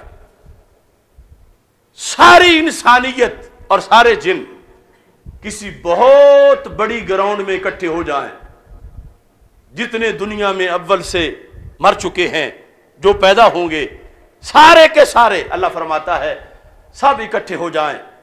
और इकट्ठे होके क्या करें? फसालूनी, मुझसे मांगे। मेरे मंगते बने, मुझसे दुआ करें। हर एक अपनी अपनी चाहत कि मुझे रब सोने के पहाड़ दे दे। कोई कहता है, मुझे करोड़ों ऊँट दे दे। कोई कुछ कहता है, कोई कुछ कहता है। अल्लाह फरमाता सालूनी वो मुझसे सवाल करे। फ़ातई तो कुल्ला इंसान वसालाता हूँ और मैं हर एक को ही उसकी मांग दे दूँ। हर एक की जो तमन्ना है, मैं उसकी पूरी कर दूँ। वो जो मांगे तो फिर फरमा, मा नाका साजाली का मिम्मा इंदी इल्ला कमा यन कुसुल मिखिया तो इज़ा उद खिलल बाहर। फरमाया, इतना ही मेरे खजाने में तो कमी होगी कि जिस तरह सुई को समुंदर में डबोकर बाहर निकाला जाए तो सुई से जो पानी लगेगा, ये भी मुहदसिन कहते हैं, हालाँकि हकीकत में यह कमी भी नहीं होती, लेकिन लोगों को बताने के लिहाज से मेरे तो वो खजाने हैं, मेरे पास तो इतना है। तो ये अमर जलील जैसे मलून, रब्बे जुल जलाल को मोहताज बताकर उसकी हाजात हैं, और वो ये कहता कि मुझसे मांगो, और ये कहता है आगे से कि मैंने कहा, तू खुदा ही रहे, और तू वज़ीर आज़म ना बन कि मैं तो इससे कोई ठेके नहीं लेना चाहता। इस तरह के बकवास करके रब्बे जलाल की जात में फिर भी ये शख्स दंतनाता फिर रहा है पाकिस्तान की सरजमीन के अंदर कि इसने हमारे अल्लाह को कितने ताने दिए, कितनी गालियाँ दी, कुरान की आयात का कितना इनकार किया, रसूल अकरम वसल्लम की किस कदर तोहीन की, ये जिन जिन आयात की तोहन है, कुरान की तोहन है, ये अल्लाह की तोहन से पहले रसूल अल्लाह की तोहन है। नबी अकरम वसल्लम के कल्ब पुरनूर पर उतरे हुए कलाम की तोहन है। इस वास्ते ये एक बिल्कुल मुख्तसर सी झलक मैंने पेश की कि कहाँ ये गंदा कीड़ा है और कहाँ रबाल की शान है और इसने किस हद तक खिलाफ वर्जियाँ की हैं और किस हद तक इसके जराइम हैं। अब यह है कि इस सिलसिला में सज़ा क्या बनती है? हज़रत काजी इयाज शिफा शरीफ में इरशाद फरमाते हैं। और मैं को कहूँगा कि ये चैप्टर भी जुमे पे बयान करें और ये भी अजहद ज़रूरी है। हमारे अकाबिर ने इस सिलसिला में कोताही नहीं की। देखो, शिफा के अंदर बाब है। किस लिहाज से? बाब का उनवान, अलबाबु सालिस, फ़ी हुक्म मन सब अल्लाह ताला। जिसने अल्लाह को गाली दी, उसका क्या हुक्म है? जिसने अल्लाह को गाली दी, अल्लाह की तोहीन की। ना खुली छुट्टी दरबार रिसालत में है, ना खुली छुट्टी दरबार उलूहियत में है। और हमारे अकाबिर ने मसलन मुजद दीन मिलत इमाम आल सुन्नत, आला हज़रत इमाम अहमद रजा खां फाजल बरेलवी हो, या वो हज़रत मुजद अल्फेसानी हो, वो दाता गंज बख्श हजवेरी हो, या हज़रत ख्वाजा गरीब नवाज़ हो, वो हज़रत गौस आज़म हो, या हज़रत इमाम आज़म अबू हनीफा हो रहमत अजमाइन, इन सारे लोगों ने तकदीस से उलूहियत पे भी पहरा दिया है नमू से रिसालत पे भी पहरा दिया है। और हकीकत में ये हम पहले दिन से बताते आ रहे हैं। जब अकीद तोहीद सेमिनार कर रहे थे, या नमू से रिसालत सेमिनार कर रहे थे कि अल्लाह के फजल से हमारी घुट्टी में है कि शान खुदाबंदी के पहरेदार भी हम हैं और शान रिसालत के वफादार भी हम हैं। इस बुनियाद पर अपना फरीजा समझते हुए आज ये आवाज़ ऐसे आलम में कि जब सख्ता तारी है, सन्नाटा छाया है अल्लाह की तोफीक से रब ये कबूल कर ले।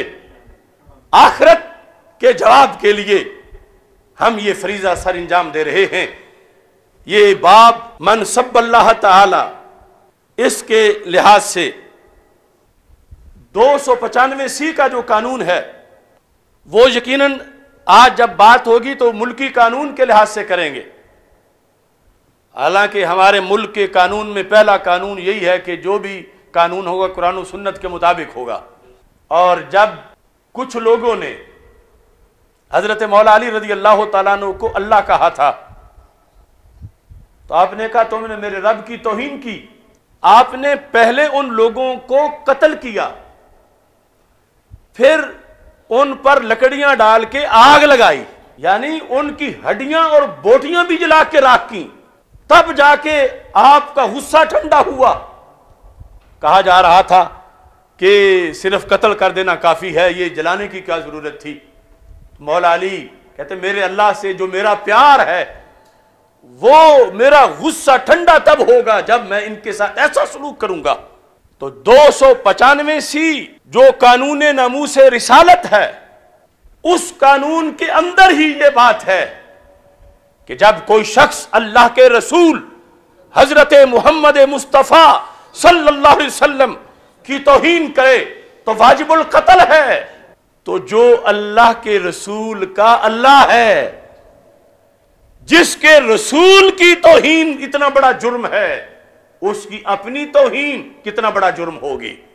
लिहाजा तोहीन रिसालत का कानून ही। तोहीन उलूहियत के जुर्म पर भी बतरीके औला इस्तेमाल किया जाएगा, क्योंकि ये अल्लाह की शान, यकीनन हमारे आका सल्लल्लाहु अलैहि वसल्लम की अजमत शान की हमें कोई हद नज़र नहीं आती। लेकिन आखिर ये हद है कि आप अल्लाह नहीं हैं, अल्लाह के अजीम बंदे हैं। और अल्लाह तो फिर अल्लाह है। तो जब सरकार दो आलम सल्लल्लाहु अलैहि वसल्लम की अदना सी तोहीन पर सजा मौत है तो अल्लाह ताला की तोहीन पर, और ये कोई एक तोहीन तो नहीं ये तो सरासर गालियाँ हैं। ये तो जिंदीक होने का एक पूरा पलंदा है। ये तो इतनी सजाएँ बनती हैं कि बंदा बयान करता करता थक जाए। इस बुनियाद पर भी सजा इस शख्स की कत्ल है कि शिफा शरीफ के अंदर यह हदीस शरीफ मौजूद है। सुनने बिन माजा में यह हदीस शरीफ मौजूद है हदीस नंबर दो हज़ार पाँच सौ उनतालीस और इधर पाँच सौ सतानवे सफ़े पर शिफा शरीफ के अंदर ये लफ्ज़ मौजूद है। तो अब्दुल्ला बिन अब्बास रदी अल्लाह हो ये रवायत करते हैं। अब जितनी तकरीर सुनी उसके खराफात के कुछ तस्करे के बाद आयात मैंने कहा कि जवाब के लिहाज से आपने आयात को पेश नज़र रखना है कि इसने कितनी आयात का इनकार किया और कितनी आयात के खिलाफ इसने बगावत की। तो रसूल अक्रम वसल्लम इरशाद फरमाते हैं, मन जहादा आएगा तम मिन किताबिल्ला। जिस शख्स ने कुरान की फकत एक आयत का इनकार किया, इसने तो सैकड़ों का किया है। जिसने सिर्फ़ एक आयत का इनकार किया, मिनल मुस्लिमीन, मुसलमानों में से, जिस तरह के अमर जलील है, जिसने मुसलमान होकर कुरान मजीद की एक आयत का भी इनकार किया, फकद हल्ला दर्ब उनों के ही तो उसकी गर्दन मारना हलाल हो गया। उसका सर उतारना कि उसने ये जुर्म किया। ये हकूमत के लिहाज से हम हवाला जात पेश कर रहे हैं। दो सौ पचानवे सी को डायरेक्ट लो तो फिर भी, और अलहदा, जो शरीयत के अंदर सब उलूहियत के लिहाज से कानून है, उसके लिहाज को देखो, आयात कुरान के इनकार को देखो तो ये सजा रसूल पाक सल्लल्लाहु अलैहि वसल्लम की हदीस बयान कर रही है, और इस शख्स ने एक आयत का नहीं सैकड़ों आयात का इनकार किया है, फिर तोहीन की है, फिर गालियाँ निकाली हैं। रबुल जलाल को तनकीस की है, तदहीक और इस्तेजा उड़ाया है रब जलाल की शान कुदरत का। इसमें हमारे कानून के अंदर कुछ लोगों की एक दूसरी राय चूँकि आ सकती है, मैं पहले उसका ज़िक्र कर दूँ। ये द पाकिस्तान पैनल कोड के अंदर दो सौ उनासी सफ़े पर 295 बी 295 बी उसमें यह है defiling of copy of holy Quran however wilfully defiles damages or desecrates a copy of the holy Quran of an extract therefrom, or uses it in any derogatory manner, or for any unlawful purpose shall be punishable with imprisonment for life. यानी तोहीन कुरान, तोहीन आयात के लिहाज से ये जो 295 B है, इसके अंदर कुरान मजीद के किसी एक इकतबास, किसी एक आयत, किसी एक हिस्से की जो तोहीन करता है, या उससे कोई तोहीन अमेज किसी मकसद के लिए उसको इस्तेमाल करता है तो उसको उम्र कैद की सजा दी जाएगी फॉर लाइफ लेकिन ये मैं ऐसा कहने वालों, जो ये पेश करें उम्र कैद के लिहाज से तो उनसे ये दरखास्त करूँगा कि इस मुजरिम की सजा उम्र कैद नहीं है, बल्कि इसकी सजा सजाए मौत है, चूँकि इसका जुर्म इस शिक से कहीं बड़ा है, जो ये जो 295 बी के अंदर लिखी है, बल्कि ये जुर्म 295 सी से भी कहीं बड़ा है। और उसका हुक्म, अगर नए सिरे से कानून साजी नहीं कर सकते, वो जो असम्बलियों में बैठे हुए लोग हैं, उनका तो कोई मशगल ही और है।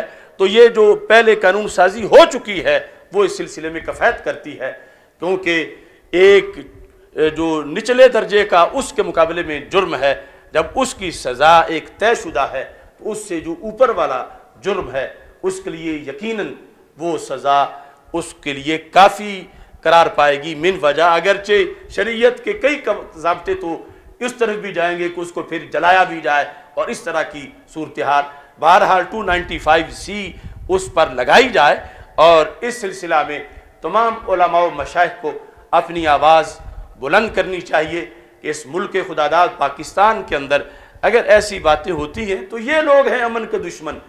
ये लोग हैं जिनकी को बेलगाम छोड़ा गया है। ये वो लोग हैं कि जो पाकिस्तान की सालमियत के दुश्मन हैं। इन लोगों की गुफ्तगु के बाद नज़रिया पाकिस्तान की तो कोई गुंजाइश ही नहीं बचती, जिनके नज़दीक मंदिर, मस्जिद और गिरजा एक ही चीज़ हैं। लिहाजा हमारे इदारों को इस तरफ़ खसूसी लिहाज से मुतवजह होना चाहिए। अल्लाह ताला हम सब का हामी नासिर हो। रबाल हमारी इस छोटी सी काविश को अपने दरबार में कबूल करे। अगर इस सिलसिला में किसी को मज़ीद इल्मी लिहाज से मवाद की ज़रूरत पड़ेगी तो इन हम अपने आप को इस सिलसिला में भी पेश करते हैं। हमारा काम इस मसले के लिहाज से जो भी रोज़ाना मसाइल पैदा हो रहे हैं, उम्मत को बाखबर करना और उस सिलसिला में जो शरी रहनुमाई है, जिस हद तक हम कर सकते हैं, वो अल्लाह की तोफ़ी से ये कर रहे हैं। अल्लाह ताला हम सब का हामी नासिर हो। व आखिर दावा या अनिलहमदिल्ला रबालमी दरूद शरीफ तीन बार पढ़। सलातम रसूल वाली वसहाबी या हबीब या सईदी रसूल वसहाबी का या हबीब या रसूल अलहमदिल्ला रबालमीन वलाकबतमतकीन वसलातम रसूल करीम। अस्तफ़िरल्ला शरीक लमुल्क वलहमद वहुआ अला कुल्ल शैन कदीर। या अल्लाह, हमारी इस कावश को दोनों जहाँ में हमारी निजात का बायस बना। या अल्लाह सब की दिली नेक तमन्नाएँ पूरी फरमा। या अल्लाह रबाल अल्लाह, अपने फ़ज़ल करम से हमें हक़ का परचम मज़ीद बुलंद करने की तोफ़ी अता फरमा। चार अप्रैल को बतरी के आसन, लब्बैक या रसूल अल्लाह सल्लल्लाहु अलैहि वसल्लम कॉन्फ्रेंस मुनद करने की तोफ़ी अता फ़रमा। या इलामीन सेहत वाफ़ियत के साथ हमें रमदानमबारक का इस्तकबाल करने की तोफ़ी अता फ़रमा। या इलामीन तमाम बीमारों को शिफा अता फ़रमा। या इलामीन बंदा नाचीज़ की सारी बीमारियों को दूर फरमा। या अपने फ़ज़ल करम से शिफा कामला आजला अता फ़रमा। या इलामीन नबी अकरम सल्लल्लाहु अलैहि वसल्लम के अजीम मरतबा के तुफ़ैल हाजरीन के जितने भी रिश्तेदार मर्दोजान हालत ईमान में दुनिया से जा चुके हैं सब की बख्शिश फरमा। मुफ्ती मोहम्मद आबिद, जलाली साहिब और वालदा मोहतरमा मरहुमा की बख्शिश फरमा। वालद मोहतरम को शिफा कामला अजला अता फरमा। या इलामी नबी अकरम सल्लल्लाहु अलैहि के अजीम मरतबा के तुफ़ैल। हम सबको क़्यामत के दिन रसूल पाक अलैहि वसल्लम के झंडे के नीचे जगह अता फरमा। वसल्ला तला हबीबी खैर खल्क़ी सैदिना मौलाना महमद